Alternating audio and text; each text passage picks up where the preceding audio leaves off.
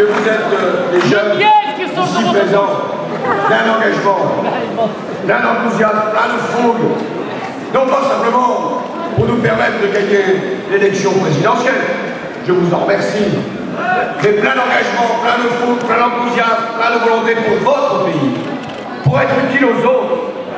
Et c'est la raison pour laquelle j'encouragerai le service civique. Tous ceux qui voudront participer à une belle cause pour le faire.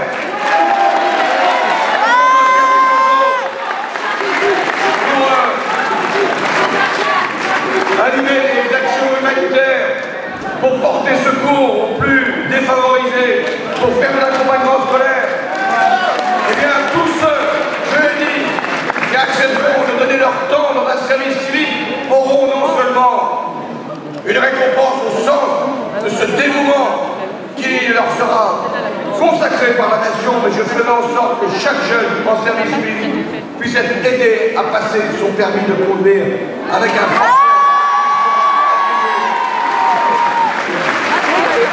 L'objectif, c'est 100 000 jeunes dans le service civique. À la fois pour rendre service à la nation et pour vous rendre service. Et je pense à l'emploi. Je sais que c'est la priorité. Je sais que c'est votre préoccupation. Vous parents, vous jeunes, et nous tous conscients que c'est un gâchis formidable de laisser partie de la génération qui arrive sans perspective, sans confiance et dans la précarité.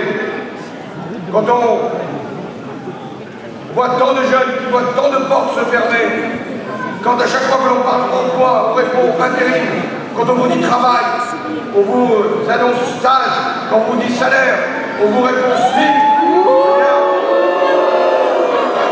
La promesse républicaine que je veux vous adresser, c'est que nous ferons de l'emploi, de la formation, la priorité de l'action gouvernementale.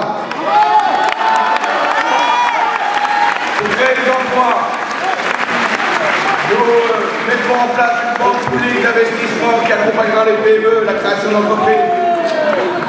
Tous les marchés publics, il y aura une clause d'insertion pour que, à chaque fois, ce soit les jeunes de ces quartiers qui soient embauchés dans les entreprises qui ont le, le succès de ces marchés publics. Je créerai sans un grand prix l'emploi d'avenir, ces emplois jeunes, et notamment dans les quartiers populaires. Je lancerai le de génération, ce contrat qui permet à un senior de rester dans l'emploi et à un jeune d'être recruté avec un contrat à durée indéterminée. Parce qu'on ne peut pas ce parcours interminable qui va de l'intérim au CDD et jamais qui permet à un jeune de fonder une famille, d'être indépendant parce qu'il a jamais pu accéder à ce contrat à durée indéterminée, qui devrait être la règle et non plus l'exception. Voilà ce que j'étais venu vous dire. Jeunesse de France, jeunesse de Seine-Saint-Denis, jeunesse diverse, vous devez être à chaque fois considéré, respecté et aussi représenté. Le contrat de génération que j'évoque pour l'entreprise, il vaut aussi pour la politique. À un moment, c'est à vous de prendre la responsabilité dans les collectivités locales, au Parlement, dans l'État. C'est vous qui devez à un moment prendre le pouvoir.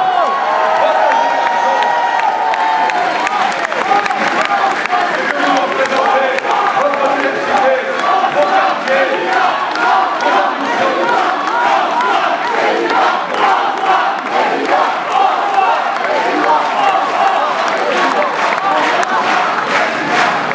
Je veux être du respect et de la justice. Le respect, c'est d'abord voir chacune et chacun d'entre vous pour ce qu'il est et non pour ce qu'il paraît.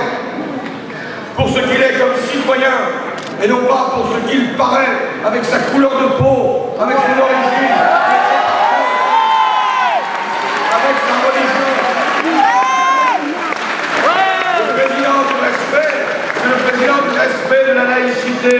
No.